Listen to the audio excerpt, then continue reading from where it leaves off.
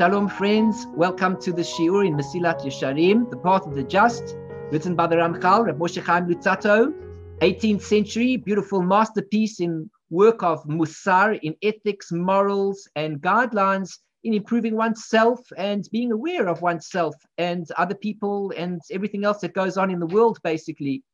I'm Eliyahu Shear from Chesed Ve'emet. My site can be found at www.lovingkindness.co.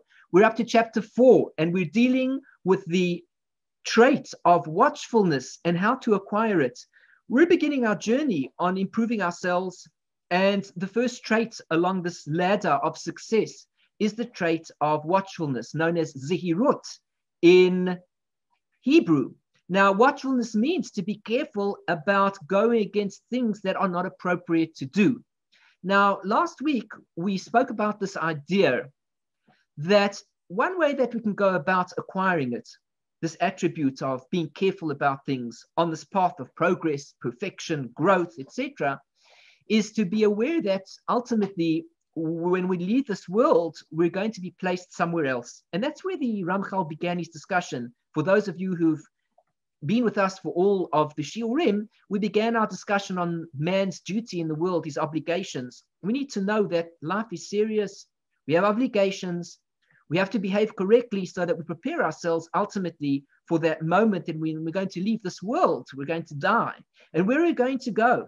We're going to be taken to a place in accordance with the effort that we've put in to growing in this world, so will we be placed there. Now, the Ramchal told us last week that basically there are three types of people who need to understand the message of this idea that when we leave the world, we're ultimately going to go somewhere. You know, the fourth category of person, he's not really a part of this whole system. A person who already doesn't believe in God, a person who eh, eh, eh, already thinks that there isn't a God, we can't convince them to behave in certain ways to grow because, as far as they're concerned, they might be just part of creation. Whatever they go through in life, they do what they do, they die, there's no existence afterwards. But to the person who values that there is a God and there's going to be a consequence and a result for everything that we do in the world, he has to know that he has to be careful so that he'll prepare himself for the next world. And the Ramchal said to us that the highest category of person is the person who is a perfectionist and he realizes that he wants the best. And he knows that in order to get the best, he has to progress to be the best. He has to do everything necessary that shows he is the best. And the Ramchal gave us an example. And he wants to say that ultimately, when we die, we have in front of us this vision of other people who have gone along the same path that we went through in life, but who attained a higher level than we did. And the Ramchal says to the perfectionist, the perfectionist is not jealous of the person who attained the higher level. This is an attitude of immaturity. Anybody who feels that when he sees somebody who did better than he did, and therefore he's jealous, that is exactly the opposite of the concept of growth. Growth is something that we related to ourselves. So I don't need to know how well somebody else did. See, I don't really need to know if the other fellow is driving a fancier car than I am, because ultimately I don't really care what car he's driving. What I care about is the car I'm driving. I need to know that I have a car that can get me from A to B. Do I need to know that so and so happens to have a fantastic Ferrari or Lamborghini? Well, I don't really need to know that. When I know that, perhaps I will be jealous. Well, that is just immature thinking. Because at the end of the day, there are nine or eight, nine billion people in the world.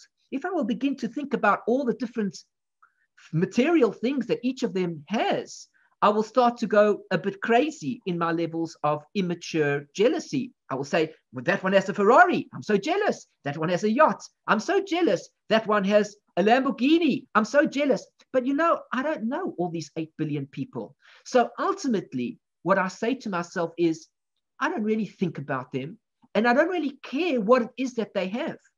What counts to me is the things that I have and that I need to succeed in my journey. If it's an expensive car that I need, then it's an expensive car. But it is irrelevant what the other person has. as to my journey in life. Whatever I need, I need. If I am a camper and I need a large type of caravan car, which has within it space for a bed and uh, various utilities because I'm on the road all the time, then that is what I need. And granted, that is the thing that I need. But I don't need the sports car because that is irrelevant to my journey in life. The Ramchal says when the person dies, he is not going to be the perfectionist, is not going to be jealous to see that somebody acquired a higher level than he did. That is immature thinking. The perfectionist doesn't need to think that. The perfectionist thinks about the fact that when he sees that others attained the goal that they were required to fulfill and therefore received their particular allocation in the world above, that will upset him because he will say to himself, not that I wish that I was him who attained his level. It will be, I wish that I was I who attained my level. As we know, the famous story of Reb Zushia of Anipoli, that they once mentioned to him something about dying and so on and so forth. And he said, You know, when I die, I'm not going to be afraid if God says to me, Why were you not as great as Avraham Avinu? I'll answer and I'll say, I was not as great. I did not become as great as he was because I was not Avraham Avinu. I was not Abraham. Why did you not become as great as Yitzchak? They will say to me, Yitzchak Avinu. And I will say, because I am not Yitzchak.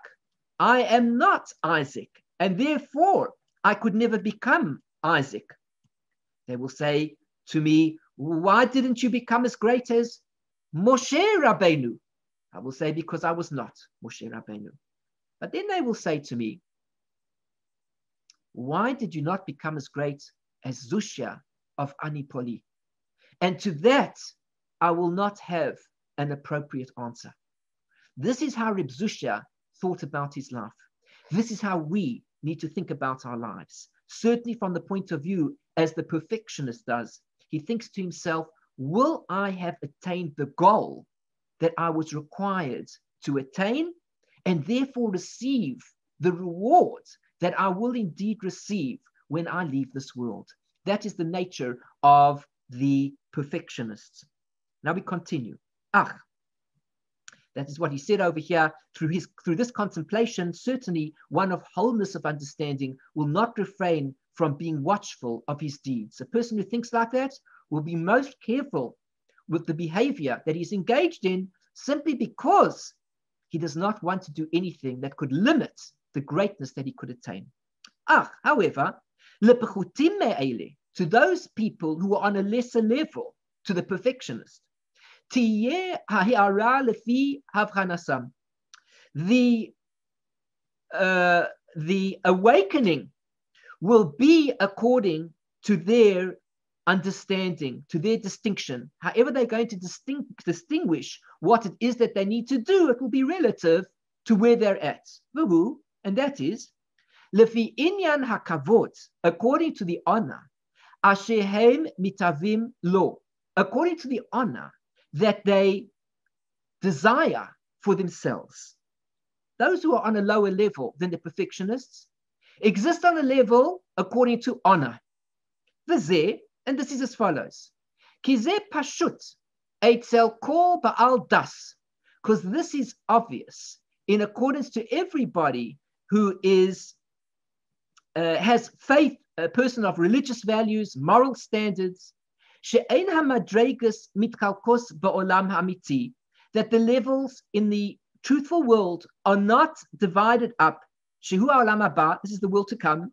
Lefi except in accordance with one's actions. Those who are under the level of the perfectionist, who needs to attain the level that he has to attain because that's who he is, there is the level of the person who realizes that ultimately in the world to come, we are going to gain our station, so to speak, in accordance with the deeds that we do. sham, and there will not be that somebody will be exalted over there, except a person who is greater in deeds than his friend is. Meaning, the greater a person is in his deeds and his actions, the greater the level he will attain in the next world. It has nothing to do with my own level, it has to do with the competition. This is now the competition between the fact that I'm driving the Mini and my friend is driving the Lamborghini.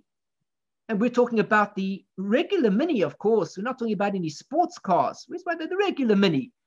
An average person could get the regular Mini, but would he be able to afford the Lamborghini? Well, when he looks at the person that's got the Lamborghini, he says to himself, I guess he got that because he has more money than I do. Surely, if I had more money, I too would be able to get a car like that. Therefore, I feel upset. And therefore, if I want to have that wonderful sports car, I'm going to have to earn more money. Well, in the spiritual world, the person who is less than that perfectionist that we spoke about exists on that same plane of life.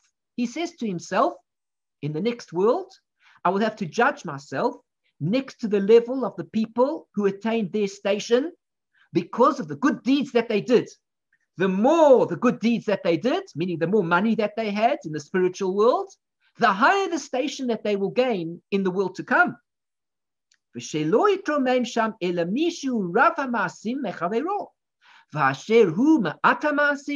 a person who has less good deeds, he will be the less, the lesser of the two. He will be the least. He will be on a lower level. He starts to say to himself, you know, in this world, if I have less money, I have to drive an inferior car. If I have more money, I can drive a better car, he says to himself. This, of course, is basically immature thinking. People who live on a more mature level of life realize that life is bigger than the Lamborghini and the Ferrari. They start to realize that there's a bit of uh, there's a bit of meaning to life and not just the car. Of course, if he needs the car because he's a sports car driver and he's involved in races, well, then he needs the car. Nobody's stopping him from having the car. But if his aim in life is to attain the fastest car on the roads and he's going to show his friends, look what I attained, this is an immature manner of thinking. Life is so much bigger than that. We're people, we have souls. We think about other people's feelings. We think about purpose. We think about people who are struggling and how we can help them out. That is mature thinking. We need to think a bit on, on a higher level. When we see a child and the child has an ice cream and the ice cream falls down and and falls onto the ground and they lose their ice cream and they burst out crying and everybody in the store can hear them crying and they, they have a fit in the store. We tell the child, you don't need to be so immature. It's not the end of the world. It's not a big deal. Life is bigger than the ice cream. The child doesn't understand it. And so to the person who lives his whole life on a level of immaturity, thinking that the greater the car he drives, the greater he is. This, of course, is a level of true immaturity. But the Ramchal says that that level of immaturity exists with the person who is on the slightly lesser level than the perfectionist. He too behaves in the same manner spiritually as he does physically. He will be embarrassed because when he sees his friend in the next world who has attained the higher level of spirituality, the higher level of closeness to God, because he worked harder on himself, he's going to feel jealous because he realizes it's all about good deeds. The more good deeds I do, the greater I will develop myself to attain this closeness to Hashem and the greater place I will have when I leave this world. I'm not talking in a childish, childish fashion. I don't want to speak on an immature level as if do a good deed and then God puts you into a, a wonderful place in heaven. That is not what I'm talking about.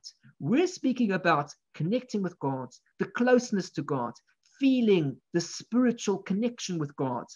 When we engage in mitzvot, we reach this level of attaining this oneness, feeling this closeness to God. When we die, we wish to maintain that closeness. We wish to feel and experience that we did good, that we did in this world what God wanted us to do. It's a wonderful feeling to attain that, to die and to know that one achieved such a goal. I want to do the good, not so that God gives me the ice cream, so that I will be able to be close to God and I will experience that closeness and I will lack any embarrassment from not having done what it was that I was supposed to do in this world. But this particular person at the moment is living on this immature level, and he knows that the more that he does, the bigger his place in heaven, so to speak. In Cain, if so, a four, then How can a person hide his eyes from his deeds? Or or to diminish his efforts baze, in this. If afterwards, bisman, there'll be he'll he'll he'll realize at a certain time, it, he'll know about it. He's going to realize it. He will not be able to correct that that he damaged, that that he did wrong. Now think about that for a second. This person is living on this immature level. It's not so bad. Because if he realizes that when he dies, he'll be placed into this canopy in Shamayim, this canopy in heaven, where he will delight in all sorts of things. But while he's there, they will notify him that he could have actually done a lot better. He could have got much higher. Take a look at those other souls over there who attained so much more from the good that they did. And he says to himself, I cannot change anything. I'm stuck where I am now.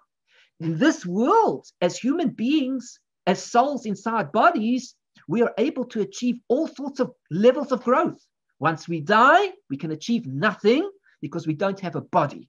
Now, when we enter into that world and we see the great rewards that we could delight in, if only we had done a little more, but we didn't, at that point in time, we reflect back and say, Oh, how I wish I had done what it is that I was supposed to have done. And this is the second class of person who has to realize, who has to appreciate, who has to value that ultimately, when he dies, he is going to attain the level that he has attained, and he'll be stuck with that for eternity. Therefore, what type of a theory, what type of thinking could we inculcate into this person to give him this ability to think straight so that he will indeed work on himself harder so that he indeed will work on the traits of being careful of those things that he should be careful in. We have to play a game with him, so to speak. This is no longer the game of perfection because he's not a perfectionist. He doesn't understand. He's not even interested in becoming perfect. He doesn't have the time to become perfect. He wants to enjoy the physical world. He wants the better things in the physical world. We say to him, Well, if you want the better things in the physical world, I have a story to tell you. When you leave this world, you're going to find yourself in exactly the same situation in the next world on a spiritual level. And those things that you have attained spiritually in this world will be yours in the world to come, but you will be able to go no further afterwards. It is almost like a person, so to speak, who in his working years, between the ages of 20 and 60, for the average person, he works hard and he puts aside some money for his pension. And then when he gets to pension age, the government institutes against him no more work for you, they say. He says, What? No more work? Well, but I need to live. They say, Well, that is why you put your money aside for the pension. He says, Well, but I only put aside X amount. They say, Well, that's what you have left. That is the money that you have. That, he says, Well, had I only known that, I surely would have put aside more money. Why didn't anybody tell me? People say you should have listened to the financial advisor. What were you doing with all your money while you were busy earning it? You were buying yourself a nice car. You were buying yourself a beautiful home. You were going on vacations regularly. You were buying all sorts of tzatzkas, all sorts of things. And you put aside a little bit for your pension because you knew the pension day is going to come and then you would have the money available. Well, here you are. Hello, Shalom Aleichem, Boker Tov Eliyahu. Here in front of you is the pension that you've worked so hard for. He says, but I want more. They say, you want more? You should have thought about that before you entered into this transaction. What should you have done? Put more aside into pension and not involved yourself with so many physical pleasures that the money that you wasted on all those things could have gone for the sake of the pension. So when the government said to you, no more working, you would have had the money available to celebrate so many more years in retirement in such a wonderful, relaxed manner. But you didn't do so correctly. We say to the individual on a spiritual level, it's exactly the same. What pension are we putting aside? How much are we putting aside? And if we say, well, I'll have a great time and I'll put aside just a little bit, all very well and good. But when we leave this world, we're suddenly going to realize that that world, spiritually speaking, is no different than this world on a physical level. And the way that we've interacted physically is suddenly how we have to interact, so to speak, in the next world spiritually. So we say to the person, You don't want to perfect yourself? That's okay. But do you know there is a concept that the, the, the money that you earn now will be worth something to you in the future? The more that you put aside now, the more that you'll have in the future. We say, Take that lesson with you today now for spiritual things too. Put aside spiritual goals all the time. Be careful what you do, do more good, and so on and so forth. So that when you die, when you leave this world, you will see the pension that is accrued to you and what it is that you've earned because of your ability to be responsible and realize the obligations that we are in this world to realize. We're going to end the shiur here. Thank you very much for joining me. Next week, when we continue, we're going to speak about a category of person who is slightly less than this level. What could be less than the person who wants honor, who wants more? Well, there is a level who is slightly less, and we need to talk to him on his level also so that we can get him to realize the importance of doing what is necessary. I'm Eliyahu Shear from Chesed Emet. My site can be found on www.lovingkindness.co do like this shiur by clicking on the thumbs up button. I'd appreciate it. Feel free to make a comment and, of course, subscribe to my channel. If you'd like to be in touch with me, feel free to send me an email via my website, and I'd be delighted to be in touch with you on any subject. If you'd like to join us and partner with us in all our activities, please do come on board, make a difference to us, and hear more about all the activities that we're involved in and become a part of these activities. Thanks for joining me. I look forward to another shiur in the near future, and I wish you everything of the best. Shalom, shalom. Bye bye.